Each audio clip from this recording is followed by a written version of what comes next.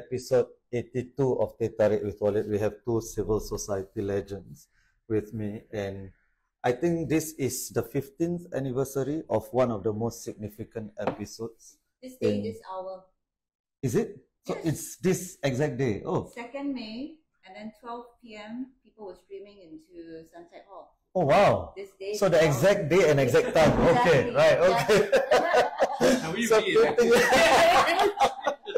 15, 15 years of uh, the saga, saga, saga, saga incident, and where there was an attempted, well, initially successful attempted uh, conservative takeover of Aware. And I think to know more details, the juicy details, please listen to the podcast, the narrative podcast that was done by Aware. And I, I listened to it as I'm sure you did as well, Remy. It was very gripping. And uh, both both of my guests today they were involved directly in that incident but not just in that incident. They have been around for civil society for the longest time. So Corinna is the executive director of aware and she was there through the thick of it all and she is a seasoned uh, activist as is uh, Remy. Don't let his uh, young looks fool you. He has been an activist since you were 15 years old. A 15. a I think in some circles, uh, being a nuisance is uh, is a praise, right? So, so thank you so much. And I also wanted to say I brought this book, and not because we're advertising it, this, but all three of us have a chapter in this book, and uh, I think that's where I really wanted to start. Not not the book itself, but the book represents a lot of what we discussed. Even at the book launch, there were heated discussions, right, about what should be the nature of advocacy in Singapore, what's the relationship between us and the state. So I wanted to ask uh, first Corinna and then Remy. So 15 years on, how has civil society evolved from that? And you know, at that time, the state took a hands-off approach, Hmm. right? Uh, do we see the government doing that today? Like if Saga happened today, so and what does that tell us about the evolution of civil society and the state? Yeah. So I think uh, what was really interesting about Saga is that it happened at a time when smartphones and the internet sort of uh, came into uh, civil society where we actually, and it was the, the first campaign, right? And it was not even a planned campaign, it was something that came upon us and we were responding. Uh, but it was really like, it was just at that cusp. So um, it was pioneering in that sense. Uh, it so actually we were now because the organization had been taken over. So the group that was left, right, the old guard, were no longer an organization. We were now a informal collective trying to fight back. We had a mission, and so it was the the first sort of very substantive movement uh, as a not a established group anymore, and trying to get support from people, from the public through the internet. So we set up our own website. We are aware. We use Twitter. We use Facebook. Um, it's before Instagram, before TikTok, right? So it was kind of a experimental in that way. So it's quite cool, and we can see that. It, so I think that was a turning point. It was the start of something that today is quite commonplace, but at that point it was not. And so we have seen now uh, that was the starting point, and we can see the evolution, which is that now a lot of uh, civil society groups are not registered. They are not established groups. Uh, you don't have the burden of administration, of governance. Uh, of course, it's a, the, the nature of the group is very different, and we don't know whether you know the groups will last a few years. Aware is celebrating its 40th anniversary you need a certain infrastructure. With that infrastructure comes the burden of running the group, comes, you know, that you need funds. And it has a lot of implications. And I think we're going to talk about independence later, but it has a lot of implications, right? But the point is that I think now a lot of uh, civil society is informal, is online, is nimble. They get together. Uh, an issue happens, you can immediately mobilize, right? Which was the what we did. Where was taken over, we immediately mobilized because of the technology that was there. We could do it, and you know, six weeks later, we got the organization back. Right. Yeah. Okay. Okay, that's very interesting. I wanted to because you you mentioned that you are the these organizations are not encumbered by the burdens of administration, but there will be some advantages that they do not have access to, I presume as well, right? With, yeah. With the organizational structure. Yeah. So Remy, what what about you? Do you think uh, the government would have been hands as hands off today? Um, well, I I think in the first place, uh, the way um, information about the event would be transmitted would be completely different, mm. right? Uh, so I was at the Aware EGM uh, as uh, the online citizen. So online citizen is an independent media platform. I started in my first year of law school in 2006. Uh, by the time the Aware EGM was going on, I think we were one of the more established uh, independent media uh, platforms, and uh, the mainstream media wasn't able to get into the EGM hall. Uh, we managed to, uh, and we were running helter skelter, taking photos and live blogging the event. so now the concept of live blogging. So it, it, it was just reporting what was going on in these bite-sized snippets on our website, right? Uh, because we didn't have Instagram Live, right? right? Uh, we did have uh, TikTok, right? Uh, that kind of immediacy uh, was still uh, not there, and a lot of information was still platform based. But information now is completely disaggregated. It's completely uh, uh, uh, almost deorganizationalized. It's very personalized. It's very individualized. Uh, and I think that also informs the way, as Corinna said, civil society organizes, right? Uh, and correspondingly, what individuals need uh, to share their views and opinions uh, about what's going on in the world. Uh, so again, just another parallel to uh, uh, something I participated in as a so-called student activist. Uh, an issue uh, that was current when I was in school was the Saffron Revolution. Uh, this was Burmese monks rising up against the junta and getting very brutally suppressed. And uh, that at the time was one of the key issues of the era. There were hundreds of people actually camped outside the Myanmar embassy uh, there was an ASEAN regional forum that was going on at the Shangri-La Hotel. Uh, there was civil society, organizational civil society, uh, apparently in ascendance with uh, Dr. Chee and JBJ doing the uh, Open Singapore Center with Think Center still very active. I think with Maruah at that time its infancy. And student groups got together across three campuses, and I organized that NUS Faculty of Law uh, to collect petitions, to distribute red armbands, uh, to try and hold the candlelight vigil. Uh, we were told it was a public security problem, got called from police. So we had to do indoors. Uh, hmm. we tried to do indoors, but they said because there's a fire and safety issue, you can't use candles. so you have to use light sticks. Uh, so we did our best. And uh, that was one of the, I guess, foreign policy issues of the time. But hmm. you see the way the reactions uh, in society now to Gaza are, it's, it's on a completely different scale. It's a completely different scale. Now, if you ask anyone, do you remember university students mm. or protests at the time of the Saffron Revolution? Uh, the number question, one, one question you might get is, what was the Saffron yeah, Revolution? Right, right, right. Yeah, yeah, yeah, yeah. Okay. Thank you so much. So, so we will discuss that later on. So thank you. That's, that's really useful.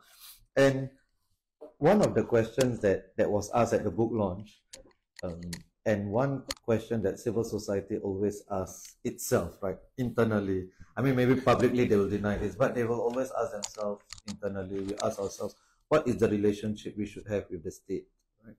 And uh, I think our first call, uh, Corinna asked me, so Walid, you you said that Aware has been co-opted, right? Several people told me this. I have to get onto the show. so she said, yeah, so she was calling me out for it. So, and, and I was, uh, because I've, I've mentioned this in my interview with Connie and uh, also with Prashan, and I mentioned that I think over the years, Aware and Pink Dot have, have become co have become more cooperative with the state. Um, what, what, what do you think? Is that, first of all, is that true? Or secondly, what's wrong with that? Even if an organization. Okay, so there are two parts to this. Uh, firstly, that the government has changed. And actually, for me, it was quite distinct because I had been a activist before 2011, and to me, that is actually a marker, quite a distinct Mm. mark when the state changed. And the change was that they became more cooperative with civil society Right. right? So people say, oh, you've become more cooperative with the state. Actually, we always want to influence the state. If we are just out there and we are not able to get into the policymakers' uh, view and to actually speak to them, try to influence them, you know, both uh, media is not is always there, but actually, you the the meetings with them is important. We want them to actually pay attention to our research. But in the past, it was not possible. You couldn't just sort of get a meeting. So 2011 uh, was the election where I think PAP just got 60% of the votes, uh, as opposed to 67% the year before. So they're like, okay, they did a lot of soul searching, and one of the things that they felt was we are kind of out of touch. So then, who do, should they get in touch with? Um, and at that point, the answer seemed to be let's at least speak to established groups, right? So actually, there was that opening and that changed the way we did things as well. So now, and there are pros and cons to this. If we have a piece of research, we will make sure that they do actually read it and they see it and they pay attention to it, they go through it, and that they consider the arguments. We also now are able to get meetings with all the relevant parties and then uh, to make a case, right, based on the research and to keep doing this. So, um, the con of that though is that because you are now in touch with them, you also need to have a bit more respect Mm. and say, okay, before we launch to the public, here's an advance copy. If there's anything that you see that is inaccurate, you let us know. We will consider it. We will still exercise the independence, right? So in that sense, I don't think we are co-opted. We have our mission. We have the policies we want to change. We have our recommendations. We stay with that. And, at, but we know at least state is paying attention. But there's a game that is played, which is that we give you an advance copy first.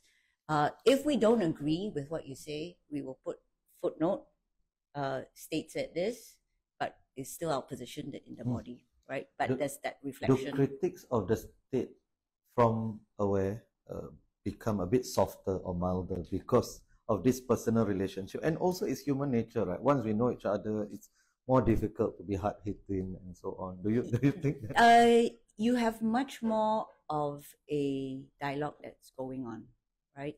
They will tell you things that they might not have told you. Mm. Sometimes a a position that they take in public is a position that they can publicly take, but it's not the real reason. Right. If you can understand the real reason, you can then now try to address that Right. right? Uh, so you get more information. There are pros and cons, right? So it does, it might come across as we are a little softer, but that's why we need a whole range of groups as well, because Mm. we need, you know, good cop, bad cop. Yeah, yeah, yeah. There's that sort of thing that is quite helpful, Right. Right? right. Uh, so yeah, we're we're we're now more of not a good cop, but still we are someone that's like that bridge. Like, okay, you can tell us what's happening, and of course we are cooperating. We hope, right, as much as possible with the other people that are are, are pushing for the same thing. Maybe more independent because they're not registered. Uh, they don't have a whole legacy and you know like a, a big team to try to support, uh, pay salaries off. But we try to be collaborative. And one thing we can do as we, we think of ourselves more as big sister, we do try to support the smaller emergent groups that are speaking up, Mm. that are doing things that are niche, which we ourselves might not be able to do, but we actually give them technical and financial support. Okay. Thank you. So maybe to the back cop now. The cop. Yeah. So, so I the bad cop. Yeah. I like that. um, so, so I think I think there's an important distinction to be made uh, when we say mainstream civil society, right? Uh, I think what we actually speak of is a distinction between organizational civil society uh, and civil society as it refers to individuals and more loosely uh, organized collectives of individuals pushing particular causes. Uh, so to uh, achieve particular objectives, I think in more medium and long-term situations, um, uh, you need organizations and institutions uh, that are able to have and maintain that dialogue with the state, with uh, a, a, goal to uh, at times collaborating with, at times critiquing or criticizing the state. Um, if you do want to work on long-term legislative change, right? Uh, so I think migrant workers groups uh, uh, getting MOM uh, to at some point agree to a day off for me with domestic workers. That was a process of negotiating uh, when you arm twist and when you collaborate, when you uh, convince and when you criticize. Uh, same thing with aware and marital rape immunity. that's something that takes a lot of time and actually specialized expertise and resources uh, uh, to get to a yes on, uh, as was, I think, the repeal of 377A. Uh, so it takes two hands to clap. Uh, a one handed clap is a slap. Uh, but as we've seen in political discourse, sometimes your co-driver, if the driver is going off the road, needs to slap the driver to wake him up.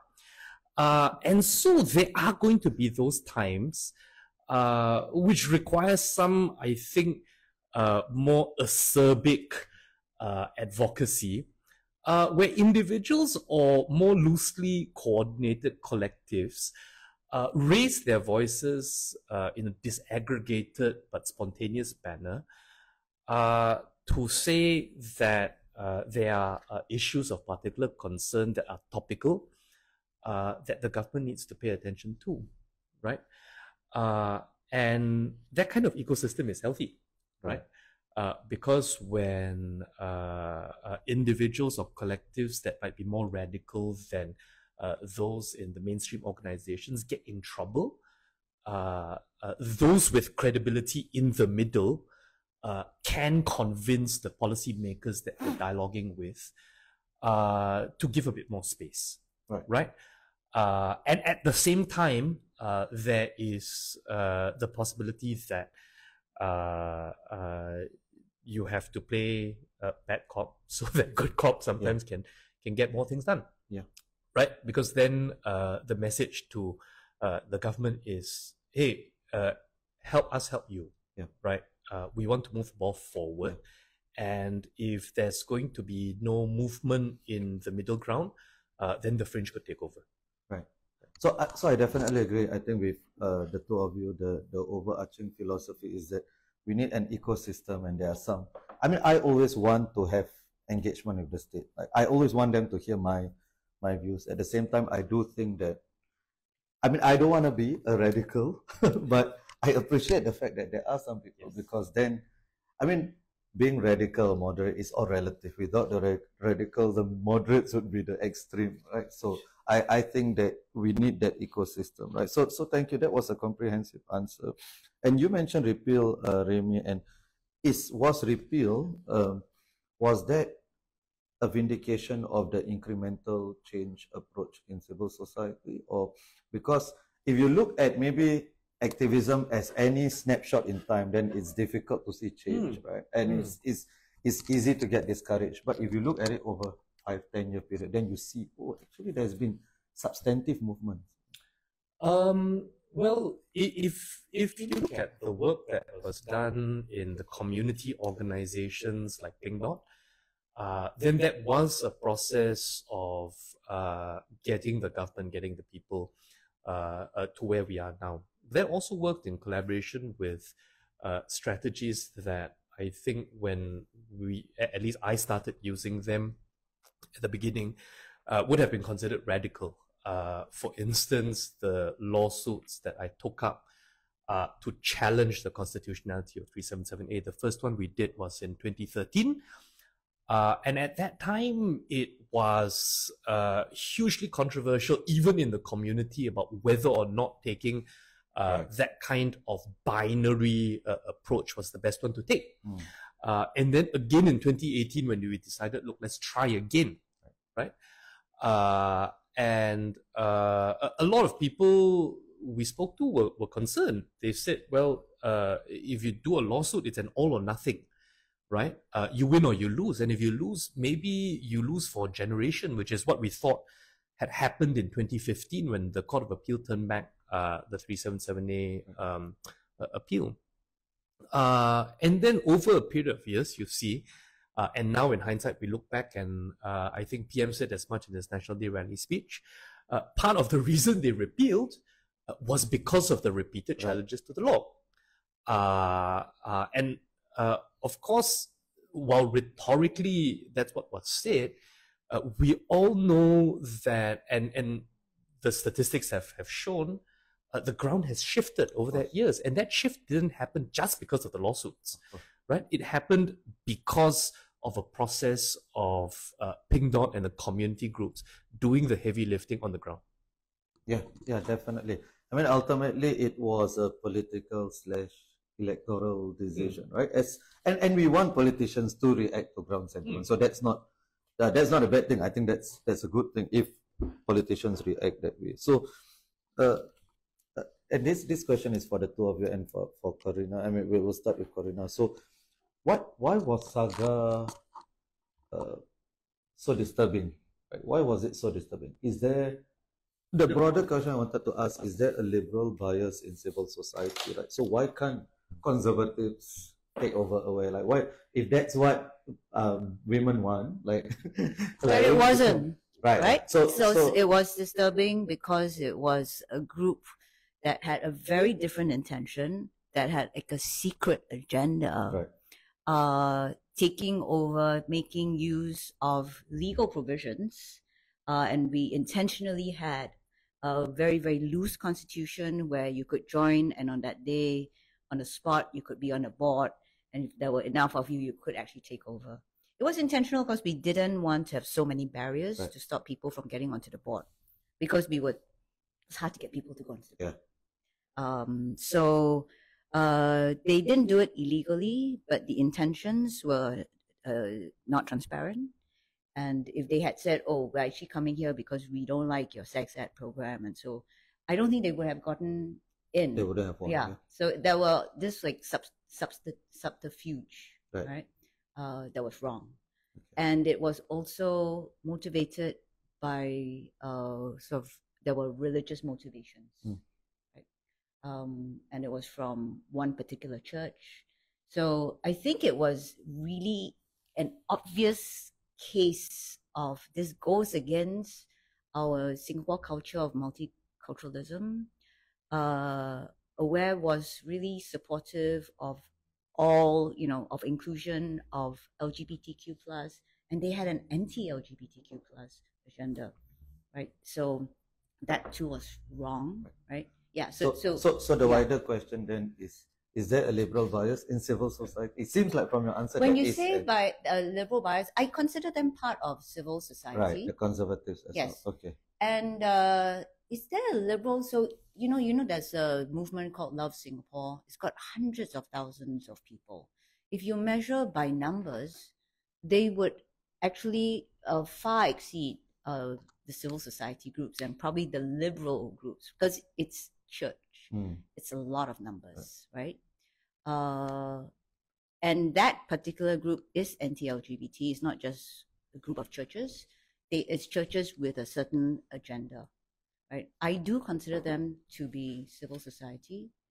Uh, to me, it's it, it- what was special about Saga was for the first time we saw this polarization Right. take place transparently and the groups faced off, Right. right? Which you don't see Mm. Yeah. Yeah. Yeah. generally Yeah. speaking. Mm. And but we managed to resolve it Right. peacefully. Right. They said we were a bit Mm. rowdy, but you know, we didn't within the law. It was law. peaceful. Yeah. It was yeah, peaceful, right? And so uh, that was quite special, and I Yeah. don't think that actually you've seen a repeat of that. Right. And we, as in you, you s- resolved it. And this is an issue which is almost, it's difficult to find a common ground or almost impossible, right? But it was resolved without state intervention, right? I think that's, Yeah, so there was a little subtle important. state intervention uh, because they said something about the pastor using the pulpit. right, right. But it was actually without state intervention. No one called us. We're like, oh, is someone going to call us? And you asked the question earlier, would it be different if it happened today? And that's kind of interesting because I think it might have been, and not, and like I said, it's because the state has become friendlier to the groups on these issues, especially hmm. when they changed 377A, all this consultation with the interface, the, the, the, those groups, and then with the LGBT groups, there was a long period of consultation on both sides. Which I think a lot of the members of public are not privy to, right? As in the state really laid the groundwork for, for that, for, Yeah, I guess. Uh, yeah, I mean, for us, it was common knowledge, but I guess a lot Yeah, of yeah. members of the public may not have Yeah. been uh, uh, privy to that, right? Mm. But there was a lot of consultation, right? So the state has changed its relationship with civil society. There's still a lot of wariness. And of course, there are actually more laws to try to control and contain. I think that's a response to the fact that uh, anyone can be an activist today. The channels are there. So, in a sense, they have less control than they used to have. right. And so then they've put in more laws, right? Uh, on balance, I don't know whether we have more or less freedom of speech. yeah, but there are certainly more laws today, right? Mm. POFMA, FICA, they were things that we did try to speak up against. Uh, we, when POFMA came out, we're like, okay, as this one very worrying because, gosh, what does it mean? And they're pretty broadly drafted. We did get civil society groups. Remy, we we we got Remy's and he volunteered says, okay, this is what the law is. These are the implications for you. These are the areas that you should be speaking up on. So we, we did try to do that. Didn't get very far, but you know, we put all of these questions and issues and concerns to the state. Um, and then they didn't engage us privately to answer, but they answered some of them in parliament. Right. So one of the things, I mean, I, I've asked you before also, one of the criticisms that people, I mean, at my my talk uh, with Kokko, one of the things that uh, people mentioned was that organizations like, we're not only aware, but organizations like Aware and Pink Dot, they have made a lot of movements and wins. They've gotten a lot of wins Mm. in the area of social uh, liberties, but not civil liberties. Uh, Mm. so uh, is that is that just a price you pay for for getting those wins? Like I, I am pretty sure that the marital rape immunity would not have happened if Aware didn't have that sort of relationship with uh, with the government, right? So that's a that's a huge win, and that only happened in the past what, four five years. Um, but uh, That one I don't think was relationship with You don't think government. so? No, Okay. there were there were some things that we have, but the fact that there's a group that keeps talking about this and it looks a bit silly for Singapore. Right, want right, to be a modern society, uh, you know, good standing in the Right. world, and we the government did sign CEDAW, right, yes. Convention on to eliminate all forms of discrimination against women.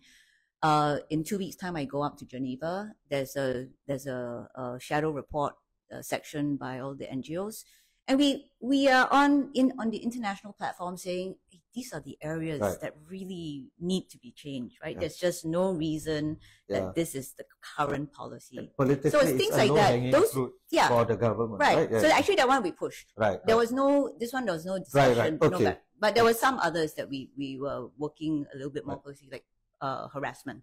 right. Right. So, so some laws, yes, and some were just front door only, no back door discussion. Right, right. So is that is that the price we pay for?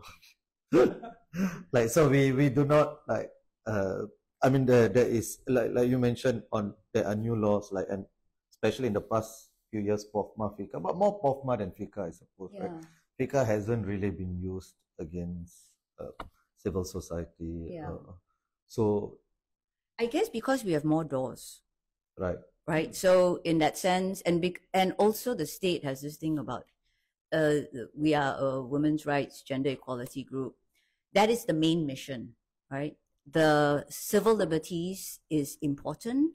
generally speaking, it's also important to our work. If we didn't have the liberty to speak up and, and talk about these things, it we we would really feel uh, quite paralyzed.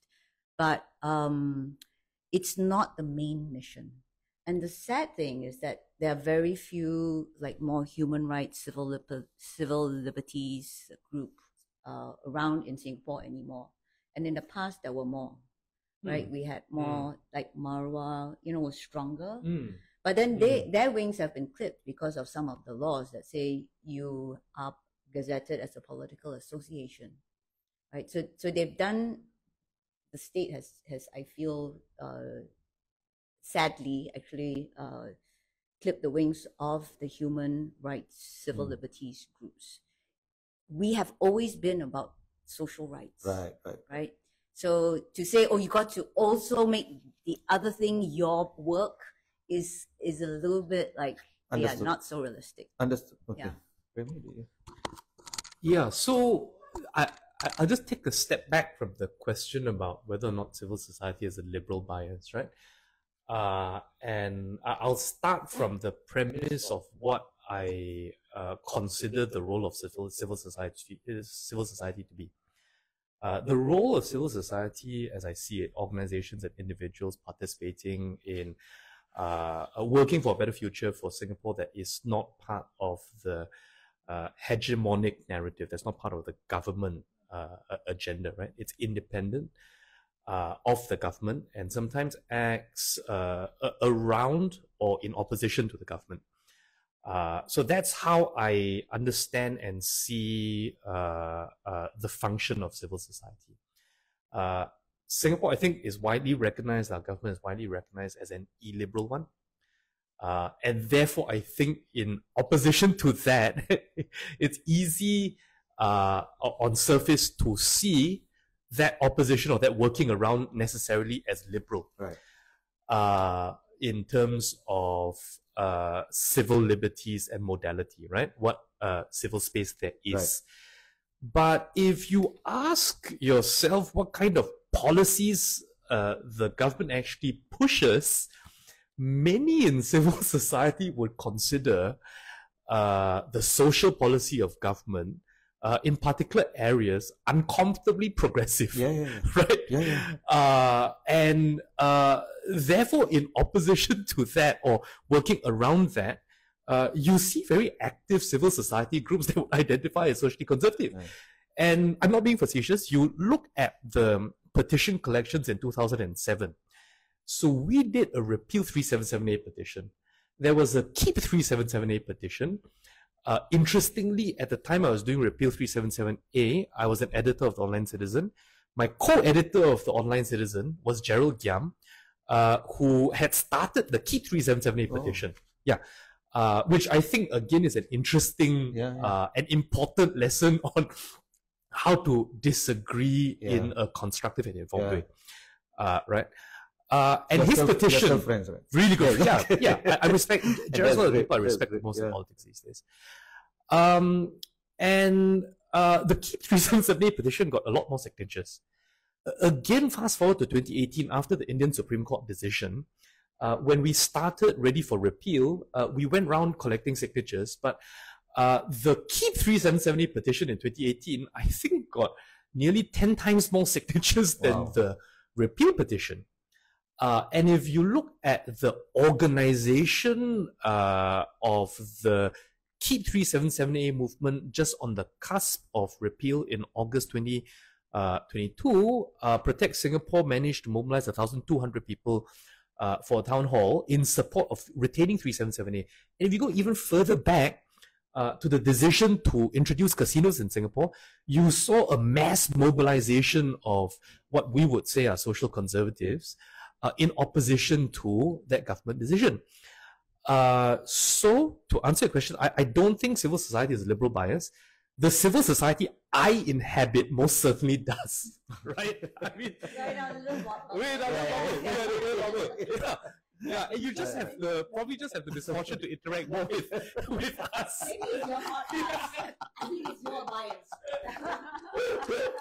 right, right. No, so so that's really useful, and also I think it's quite heartening. You said uh, that you started that and Gerald started that and you guys are still friends. And I think that's that's such an important lesson that we should we should take as a society. You know, I mean, there will be all these deep ideological uh, divisions that, but it shouldn't. I mean, to the best of our abilities, it shouldn't affect personal relationships and the social fabric. right? I think So, that's yeah. uh, one of the things that also I worry about, which is even in the liberal part of civil society, sometimes we see we draw even more lines. Yeah. Yeah. You are not. Uh, Yeah. You're too, you're too conservative, Yeah. even though you know you should be speaking up more on certain Yeah. things, right? And like, okay, so we're not going to support your cause. Like, I, I- I really think that's a not a healthy sort of way to build a strong civil society. We have to, I think, try to work with everyone, embrace everyone, respect also the different views, and where we can collaborate, we collaborate, right? Right. Rather than say, okay, you're just not, yeah, uh, liberal enough. Yeah, I do find that this is more prevalent on the left, on on the liberal side. This what I would call the narcissism of small differences. Like just if you are slightly different, slightly to the left, slightly to the right of the people on the left, then somehow there's a tendency to say, "Oh, you are not pure enough," something like that. I do find this to be more of a tendency on. I mean, just also on from my personal experience, uh, recently we had the Gaza monologues, and there was a call. It was a minority, but it was, I guess, loud enough.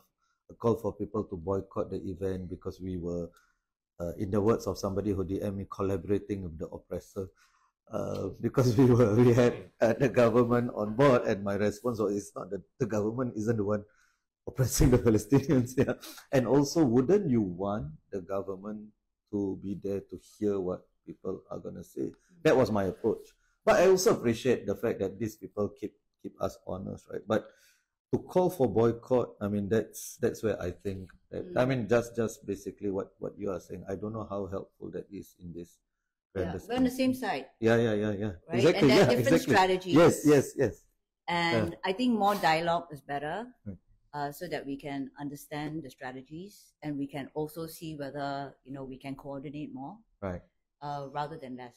Right. So I do appreciate it and like all dialogue with government as well as di- di- dialogue with more oppositional groups. I think that is really helpful. So do you actively, for instance, have these dialogues with more conservative groups? With the conservative Yeah. groups, not so. Okay. With government, yes. Mm. With uh, the liberal side, yes, but could do more. You know, in the past, we had something called Apa Itu Activists, Yes. and which was uh, was Aware's attempt to bring civil society together. I think past COVID, we we stopped thinking about that because a lot of other issues that we're dealing with, including running the services and the burnout of staff, and so it's been sort of uh, quite challenging internally. Um, but we've always tried to be like, okay, how how do we, in our own way, contribute to the building of civil society? We may not be able to do much about the changes of law, and you know, actually, the change in law, POFMA and all that, you can make noise, but you know it's a done deal. Right. By the time they introduce it, the first reading, it's already done, right? There's you can only say clarification in Parliament and and try to push a little bit, but actually, it's really difficult. Mm. Yeah. Okay. Uh, but in our own way, uh, we we have tried. Uh, I think three versions of Apa Itu, three episodes of uh, Itu activists, bringing together different groups to share their tactics, their strategies, the common areas that they work on, etc. I think things like that uh, are great. It's just that for us to have to keep doing it was a little bit too much. And I think uh, in the last two editions, keep Yale-NUS, and Right. very sad that there's no more no more Yale-NUS, but they were our partners, Right. and I know a lot of people who who loved that whole series. Right. And I mean, speaking of which, uh, Academia SG, another liberal organization, is gonna have their conference on civil Yes. society next year. You are speaking, right? yes. Uh, will you be there? No. Oh, okay. So, yeah. So I saw quite a uh, quite a diverse range of yes. uh, so it's things civil- like that. it's- It's. Yes, yes. So that's that's almost like the Apa Itu activists. Yes. Yeah, maybe Exactly. with a more academic slant. Yes. Okay. Yeah. So Uh, thank you, uh, Remy, for bringing up the saffron revolution as well, because I, I mean, I, I believe you're about the same age, and I, I don't really remember that episode, that whole series of incidents too well. Not, not the saffron revolution, but the uh, Singaporeans' response to it or undergrads' response to it. So, uh, you know, just as Saga was an important moment in civil society history, I feel like what we are going through now, without trying to be presentist about it, like mm. with, with Gaza and Palestine, I feel that this potentially could be when we look back four or five years from now that this was a clarifying moment. This was an important moment in Singapore civil society. Because what has happened is young people or even older people are just because now the definition of an activist has changed. Like mm. everyone is a potential activist. So they are making so much noise. Are, there's an outpouring of emotions and hurt. Uh, on, on Gaza and Palestine. And the mainstream civil society organizations have not really taken the lead or have not really got, gotten involved in this as well. So, so my question is, well, it's two parts. So one is why is that the case? Why is mainstream uh, civil society, like Aware or other organizations, hesitant to to speak on this or take the lead on this? And the other is, do you think this is based on your years and years of experience in civil society, this is another one of those defining moments where, um, I mean, I've, I've never remembered, on this scale at least, Singaporeans criticize the government on foreign policy. Like much of the criticisms towards the PAP usually would be on domestic policy. so it, it seems to me like younger Singaporeans, this is their first foray into foreign policy. Well, yeah, uh, it, it is an inflection point, not just in Singaporean history, but also world history, right? Uh, uh, for the first time, uh, you see the International Court of Justice uh, impose provisional measures in relation to what it says is plausible evidence of genocide. My personal belief is uh, genocide is happening. It's happening. Uh, and it's serious enough for the ICJ to say it's plausible. Uh, it says it in relation to the scale of the death and destruction. It says it in relation to the humanitarian crisis. It says it with reference to specific statements by Israeli, senior Israeli politicians. And it says it with reference to, at one count, 37 concerns expressed by 37 independent experts and rapporteurs uh, of the United Nations. Right? So it, it is a turning point in world history. Uh, and uh, how uh, we respond uh, and how people have responded, I think, is, is indicative of the seriousness of the moment. Right? Uh, can we do more? Yes. I, I think more can and should be. Thank you. Thank you so much. Yeah, uh, I'll take the, I don't know about other mainstream organizations. I can share uh, how we've been looking at it. Uh, so, firstly, when it first started, uh, it was not clear what was happening, right? I mean, it's like there was terrorism, but there was also then this response, which was so, it's now become so clear, like, you know, it's so disproportionate, it's genocide, right? Uh, and as a civil society organization that has already been warned about religious issues with a sort of a hint of if you continue on a and it was a particular issue we were looking at, uh, there may be consequences, mm. right? Um, is this does that mean we are not independent? No, but we there are OB markers and one of the things about the relationship between state and the more established groups is they can tell you you're getting very close to the OB marker. Now, this doesn't happen very often, so I will not, you know, this is, it was kind of rare, but it was in relation to religious issues, right? Uh, so that is already at the back of our minds. If if it's not clear and if we can't really add value and if it's not clearly a gender issue or women's rights issue for Singapore, and note we do have a institution of public character status, which means that our work must be about Singapore, then we will have to really weigh out all of these considerations and say, how can we add value here?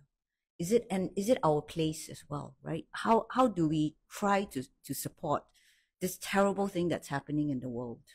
Uh, so as an organization now, we are in the process of organizing a documentary and a talk uh, by people who are much closer to what's happening there so that we can learn uh, as a group and also to, to really more as education.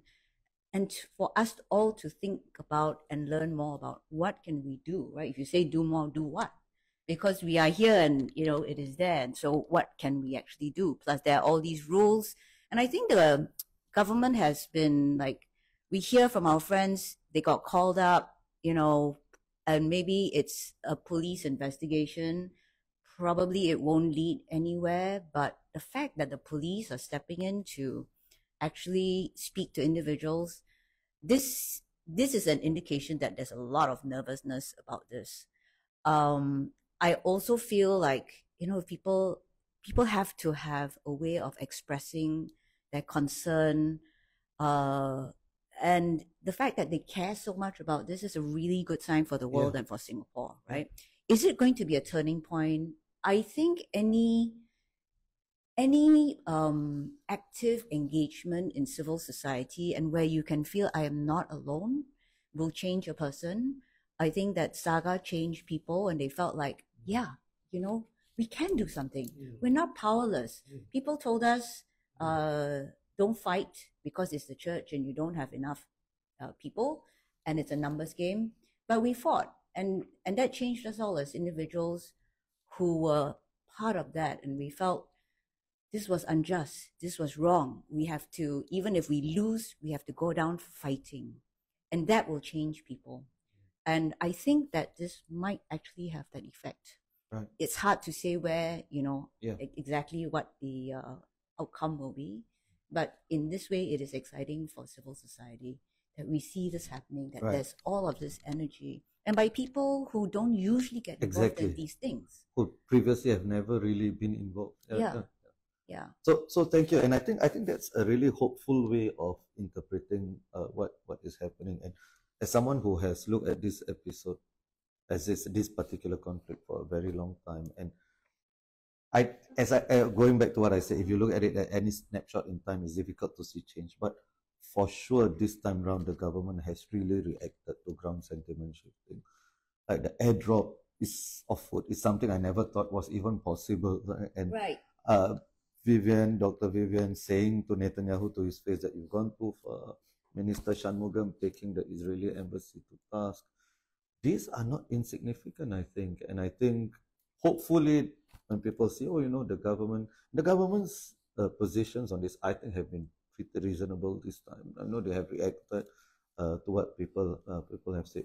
And then uh, on the part of activists and organizations, right, whatever we do in Singapore is not really going to affect the outcome in Palestine, right?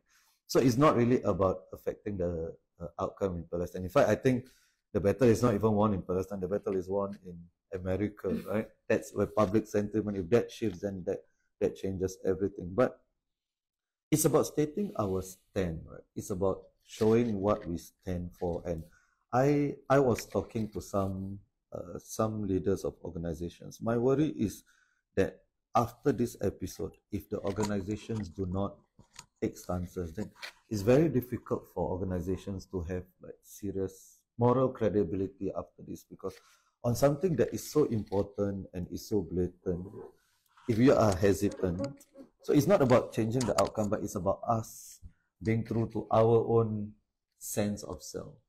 Well, I, What- what- you, yeah. you know, Walid, I, I wouldn't discount the power of people to change government's direction in thinking and consequently the power of a single government with other governments to get a ball Right. rolling towards a substantive outcome. Even a small government, No, even like a small government like ours. yes, yes, even a small, and, and I'll share with you from from what I saw in 2008 during the Saffron Revolution. For the first time, uh, the Singapore Foreign Ministry, I think it was George Yeo, expressed revulsion at the actions of the junta in suppressing the Saffron Revolution. And Singapore was the chair of ASEAN. The ASEAN Foreign, Foreign Ministers meeting was held in, in the Shangri-La. Uh, and Singapore, prior to the Saffron Revolution, had a very non-interventionist, Right. uh, just get along uh, approach to the junta. And after the Saffron Revolution, it took a markedly sharper tone. And you could see, uh, I think after that, the foreign ministry get uh, a, a lot more uh, serious with the junta. Uh, and in some ways, I think uh, the firming up of the position of ASEAN uh, led eventually to the change in position that brought Aung San Suu Kyi into government. Of course, we, we are where we are now. Mm. Uh, and it's going to be a long process before uh, the coup is unwound. Right. Uh, but uh, uh, again, uh, I- don't think we should accept as a starting point if we want to be engaged of these with with these great issues of the day that we're powerless to change things. I, I, I think I think that we have much more power than we realize. I accept that criticism and I revise my stand. no, no, you're right. You're right. No, you're right. I think I think that's the way we should be looking at things. So thank you. And just just uh, we we zoom out again, right? So, uh, what what you said earlier, you know, there are police investigations, and even though I think I I am largely on board with the government's approach uh, so far on this issue, um, I think the police investigations were unnecessary, especially on the influencers. You know, I mean, I, I thought like these two, they were just sharing stuff online. Okay, so I understand that the march to Istana is a different one. I'm talking about the influencers. I uh, so things like that. Do you think it has an effect on people? Like, especially people now. Some people are saying, "Hey, how do you, how do you post these things?" I mean, I I don't know what I can get away with, uh, just because the OB markers and they are OB markers, but they are ambiguous. We don't know where they are. So if they are there, right? And people just operate here and there's this whole space that the Remys of the world, the Corinnas of the world operate, but most people just just stay there. Uh, Do you think those things are not useful for civil society in the long run? And it has the effect of actually because if we just operate here, eventually the boundaries will come further in. Mm. Yeah. Yeah, I think the uh like the police investigations, some of them like hmm, not sure. Uh you, you just hear a lot of people whispering about it. Um but aside from police, I think uh there is a fear in Singapore about taking a stand on anything. Mm. And so I had uh you know, I'm interviewing for positions and and I'm like, oh, okay, this person I'm I'm trying to get to know better, and I I go to that and I'm like, okay, you know, show me your you know social media pages and because this person because it's com it's a comms role uh, related to comms, so I said, just see your comms and she said, oh, uh, don't take it against me. I have something on Gaza, and I'm like, no, this is not bad at all. This is good. You have stand Right. This is uh, it's not a bad thing for us. It's not a bad thing. Maybe for another employer, it might be right. But I could see the fear, right? Even as they express, there's is like, oh, I don't put it on my LinkedIn. I put it on my Insta, right? So um, I think that's generally a lot of fear of like taking a political stand. Um, and maybe this is what uh, this Gaza incident, if more people do it, right? Just express what they feel um, in a peaceful way. I think it would be it would empower civil society. We need to, I, I think, try it. Hmm. Yeah, and yeah, even if it's a little scary. Um, on your earlier question about uh, credibility Hmm. and you know if Right, you don't right. take a stand, Yeah. I think that every organization has to really, like I say, weigh and balance it. Is there is it firstly something that uh, is their mission? Uh, even if it's not their mission, should they still be saying something about it? Um, is there? I think that is some. It's something that we are thinking uh, about very seriously. How do we? Um, what should our, a public position be? And you know, it's it's also that there are many other conflicts in the world. This one for, for and, and I think it's the scale of it. Uh, and it does seem like it's genocide because of the scale of it. But we we generally don't speak up. Like Myanmar happened, we didn't speak up. But of course, all of these conflicts is a feminist issue because women are going to be women and children are the most vulnerable. The men may be more involved in the combat, but women and children are the most vulnerable. And this is true of all conflict. Uh, and we would love to end, try to end all violence in Singapore and in the world. Um, but we can't take a stand on every single thing, right? So, so we need to find a, a principled approach to this. What do we take a stand on? What we don't, and and I think every case is going to be a case by case. Okay. But Thank you. Yeah, I think it's important to really think about it. Right.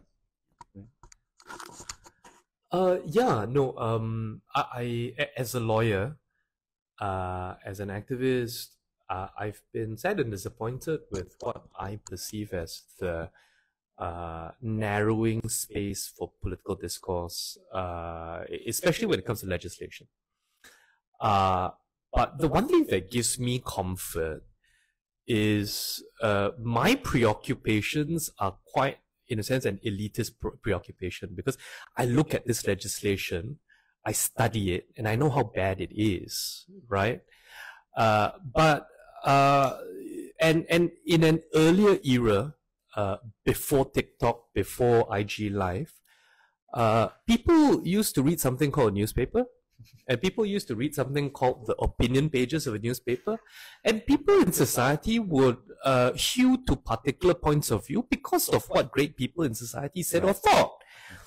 Uh, that's just not the way information Yeah. works anymore Yeah. right? Yeah. I, I, I- mean, the number of people listening to us have this very informed and substantive Yeah. dis- discussion is a drop in the ocean compared to the virality of uh, direct to camera videos of influencers uh, half my age, half my age, uh, who speak up on Palestine uh, with so much more passion than than than than you know the intellectuals who sit and think and dissect, right?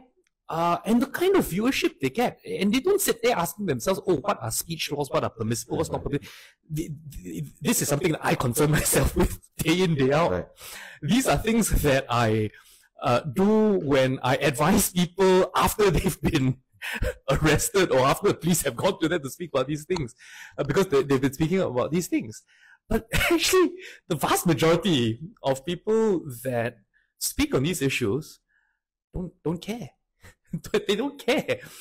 Uh, so even as the civil and political space, in my view, has shrunk, uh, legislatively speaking, uh, I think culturally, uh, the conscientization of Singaporean society is at a very different place from from where it was when when Saga began. It's it's it's it's something that I I'm constantly coming to terms with and constantly trying to understand. Right? So both things are happening Yeah. at once. Ah, So the shrinking of the space, but in a different way, the space has way. op- has expanded Yeah. in a different way. Yeah, yeah, yeah.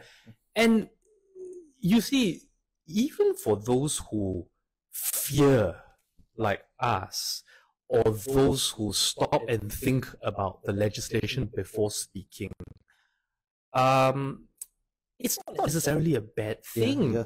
because at least those who fear are concerned enough to ask and then decide whether or not and how to act. Uh, they care, right? And then there's a vast majority of people who uh, care uh, about particular issues and don't care or think about or obsess about the legislation, right? Uh, what would be uh, of concern is a state of apathy Yeah. where people don't fear because Yeah. they don't care, right? Uh, but you care, you fear, and then you decide what risk am I going to take? Where am I on the spectrum? Uh, and a lot of people these days they they don't worry about the OB markers the, the way uh, people that grew up in institutional civil society uh, think about it. Right. Yeah, even the term OB marker Yeah, yeah, yeah. that's an anachronism from the 90s, right? Uh, from, yeah, yeah, from the Oh. 90s. We should have mentioned out of bounds. So actually, that's an, an interesting point because I found that uh, a lot of people didn't know about Saga, even though it was in the newspapers Mm, yeah. a lot. But then the podcast has really gone viral, yeah, right? yeah, because yeah. like, wow, this happened in Singapore, and you know, culturally, it's like, yeah, it's like, I so I think if Saga happened today, Yeah. we would need a, a hall that was really oh, big, oh yeah, right? 100%. To, to have, yeah, it would be 100%. massive, right? A lot, a, a lot more people would come. But also the Yeah. pod was masterfully done in terms of the narrative. Absolutely. Yeah, so that's why I think like it, it really went and like Bharati. High Yes. quality production, not not like this. Yeah. So so final question, right? Final question. What's next for civil society? Right. So you, the two of you, have like at least two three decades of experience uh, individually in civil society. Where do you see it progressing now? Given, I mean, let's face it, we all operate in a political context, right? So given where Singapore is at now, with the leadership transition, uh, a new prime minister is coming in a couple of weeks. So, what what is the state of civil? society? Is it more of the same? So I'm seeing a few trends. One is more co-option, right? And I hear I mean by actually the setting up by government of certain groups. So they actually go further, not just existing group, but actually they set up their own Right. gongos, right? Right. Government Mm. operated or organized NGOs. So so that's that. And I'm not sure that people will be able to say, oh, this is a, a, a- I call them fake NGOs, not real NGOs, but they do uh, crowd out space, Right. right? Uh, and I think the government has sort of like caught on to like, yeah, we actually uh, would be in government's interest to try to set up uh, organizations that tap on this youth energy, right? But wouldn't people see through that? Wouldn't it be better just to co-op Aware instead of setting up? We're not co-optable, I think. So No, that's wouldn't it be better, like on the government's part, just to bring you closer instead of setting up their own version of Aware? Like people will see right through that, right? Uh, we hope so. Not that they are, you know, we still have a relationship, but it's Yeah, yeah, a, yeah, yeah. it's a, it's really a, a difficult relationship. Right, what I call a complex relationship, right. right? Uh, but, Right, right. uh, yeah. yeah. Uh, I think that's not enough. I think that they actually see Ah. we must take, uh, and and we or, or the other way is that you can see it is that, um, we the fact that they are setting up some things to try to promote more gender equal mindsets and to deal with some of these issues is perhaps a really what we should be patting ourselves on the back Right. on, right? Right. It's, it's a sign of success Right. that is now becoming so mainstream Right. that the government is setting it up, right? So uh, perhaps we should welcome it, right? And uh, then we just evolve because there will always be course. other issues, Space, yeah. right? And what we're seeing now also intersectionality. You don't just do gender; you have to really Yeah. do like the intersectional issues, Right. And so I think the issues have also changed, right? Mental health, LGBTQ plus. Uh, there are other issues that are coming up. Uh, so that's that's one. Uh, So you see more gongos being set up. Uh, I see the government really adapting its strategy. Uh, the you know even the new the rhetoric from Lawrence Wong feels different, right? Mm. About inclusivity and uh, you know we really are there for you. I think they they are really uh they're, they're shifting in that sense, getting closer to the people Mm. and there will be, I guess, organizations set up to do this. Uh, government has some things that they are behind, but they you, you can't. It's a, it's invisible to the public, right? So they will do more of these things. Some gongos are actually invisible as gongos. Yeah. Yeah, you can't actually tell. right, right, right. That So there then are some. nobody can. Yeah. Right, I right. don't know what So- other, other So, things you so see. just just a point on that also, like uh, just on this Gaza thing since October, like the government Yeah. has had so many closed door dialogues. Like Mm. I I think I think at least a dozen, like and maybe some people would know, some people do not know, so they are actively working the ground. And this is something that they always do for all these issues that that people may not know. Yeah, sometimes. Yeah, yeah, yeah. No. Um, I think as uh, information has become more disaggregated.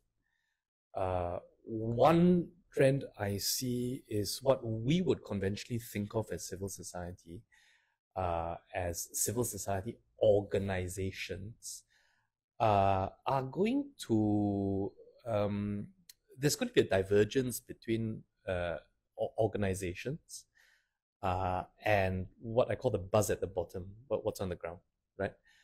Uh, because I think organizational civil society requires um, uh, cooperation. It requires compromise in yeah. some uh, at some parts. It also requires an investment of time and resource, right? Uh, but the reality of how civil society and how opinions and views are shaped uh, in the era we're in is you can have outsized influence for minimal effort. Minimal effort. So yeah. we will see, uh, I think, the relevance or the importance of civil society organizations, of all organizations actually, the government or civil society organizations, decrease? really start to decrease. Wow. Really start to decrease because that's just not the way people think and act anymore. Right. They don't really think organizationally or institutionally, right? Uh, there will be a role and a place for government and for what we conventionally think of as civil society. But uh, the direction a country takes is going to be a lot more determined by what the buzz at the bottom is, uh, which speaks to Corinna's point about uh, the government being more responsive because it's realized information has changed previously, if you want to find out what the women's uh, rights organization, what, what what women are thinking, you go go to the women's yeah. rights organizations, you go dialogue, right? But uh, for instance, Monica Baey, the yeah. and the Me Too movement, that was hugely ground up. Yeah.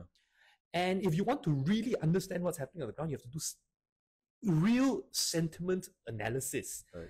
Uh, uh, that relies on a lot of meta analysis, metadata, and a lot of as you said, focus groups. You, you can't just go to a handful of CSOs, right? You can't just go to the AMP. Yeah, yeah, yeah. Right? Yeah, yeah. I mean, back in the day, the AMP was considered more, yeah, yeah, yeah. more progressive. Yeah, yeah, yeah. But now, if you really want to understand what's happening on the ground as regards Gaza, you have to hold all these Absolutely. focus groups across a whole range of demographics, and you have to look at a whole range of metadata and data uh, about what people are saying on their individual platforms, right? Uh, so it's not about uh, the numbers a civil society organization has.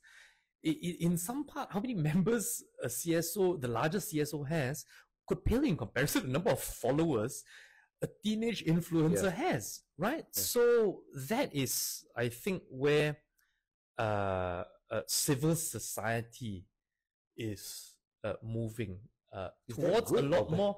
I think it's great. I think it's great because that's so empowering. It's so eh, democratic, and the uh, to me, I've always thought that the objective of my work in civil society is to make myself not necessary or irrelevant, mm. and that's now more than ever uh, looking like it might just happen. And that's great because there, there, there are going to be new generations of people that take the causes I care for so much further than I could ever even dream of because of the imaginative shackles on my horizon based on my experience. So, so, that's that was exactly what I wanted to ask you. Like just, just, just to end of. I mean, and you know, um, every old person thinks this about younger people. Right? They think they're a bit annoying. They don't have inst- institutional memory. But at the same time, the older people are also shackled yeah. by this, right? Yes. shackled by experiences, real and imagine, and you draw these boundaries, right? So, how do you balance this basically? The enthusiasm of the young and the wisdom of the old, and I mean, in traditional. That is my daily work. exactly, exactly, yeah. So in traditional civil society organizations, it's easy to do that, right? Or it's easier. But now, if there is a whole plethora of activists who are not involved in this. The thing is, though, you know, if you are looking at long-term change, right? So I think, like for things, episodic things, saga, Gaza, you know, it's episodic.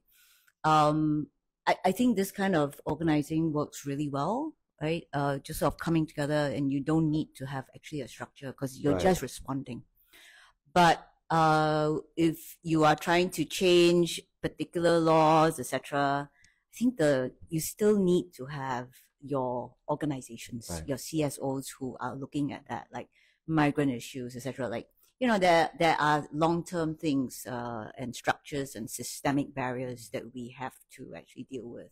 Sexual assault, you know, Mm. aging of Singapore, like big, Mm. big, big issues that are not easily solvable. Um, I, I think that so you still need right? that. The Yeah, aging they're of not. Singapore, uh, not right? sex- not it's at necessary, all. but Yeah, who wants to do it, right? Yeah. exactly. Right. So, um, but it's it's important. So the Workplace Fairness Act is you know something that is coming out. We're very excited that we've contributed to that and pushed for that because it makes a big difference to people's world. But it's not so sexy. Yeah. Yeah. Okay. Yeah. Any final words from the two of you? Reflecting on your years in civil society. yeah. Uh, I hope that it continues to strengthen.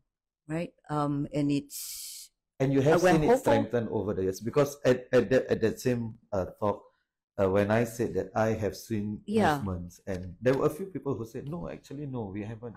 Like, it's gotten worse for civil society. I think that if Saga Mm. happened today, that we could we would probably have maybe three times the number of people, maybe more, right? Mm. So I, I think in Mm. in, uh, in that sense, it has strengthened the the culture, the consciousness has strengthened.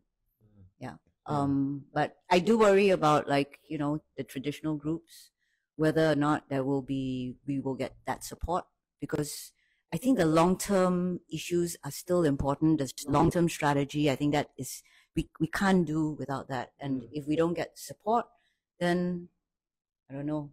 Yeah, we would lose something, right? Uh, I I think to, an- to answer your question about what uh, what we can do, uh, I, I th- I I I see my role in civil society as I kind of age out of certain frontline causes as one of providing expertise uh, that link to uh, uh, a particular point in history uh, as support uh, as encouragement, um, and as holding space. Um, You speak like an old. I, I know, I know, yeah. He's been doing this since 15. but but also also I think with you know with, with those with, with that time also I think comes with a bit of wisdom to know when to take myself out of certain Right. conversations and, and let other people fill that space. but, but, but you see, wouldn't that being in the space for a very long time actually have the opposite effect? Like, a lot of people don't know when to withdraw. that, You is a point, yeah, that yeah, requires yeah. a high Yeah, degree of self consciousness. yeah, but there there are different roles we fill, right? You know, as Corinna said, I mean, at, at a particular point, you do need the lawyers in, you do need the experts in, you do need the researchers in, uh, to uh, provide the technical expertise to say, hey, if we push for this legal change, ah, how are we going to draft the amendment, Hmm. right? How's the bill going to work? Yep. To provide the technical expertise to say this other country has done it in this particular way. This is a better way of doing a workplace fairness act, right? Uh, and that, that's one of the roles I guess the more senior activists can play, right? Uh, even as yeah, that the organization And the organizations right? play, So that's right. Yes. the, the people on the ground, like okay, these are the issues. You don't have to be a member, but just the education, Right. right? Take it up yourself. Yeah. Right. And to do that, you need resources and you need support and you need funding. Uh, and that will, I guess, necessarily shape and frame the way uh, you approach the state. lah. Thank you so much. That was an incredibly insightful conversation. I really enjoyed it. I'm sure everyone benefited from it. Thank you, Corinna. Thank you, Remy. Thank you. Uh, good good afternoon, everybody. Bye bye.